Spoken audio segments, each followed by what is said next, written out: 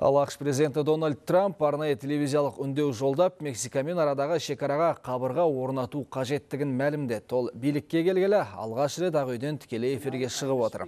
Дегенмен Трамп федералдық үкімет жұмысының жартылай тоқтауына байланысты елде төтенше жағдай жариялаған жоқ. Айта кетсек, Америка басшысы аталған қабырға құрылысына Конгресстен 5,7 миллиард доллар сұрап отыр. Бірақ бұл идеяны өкілдер палатасы мен сенат толық қолдамады.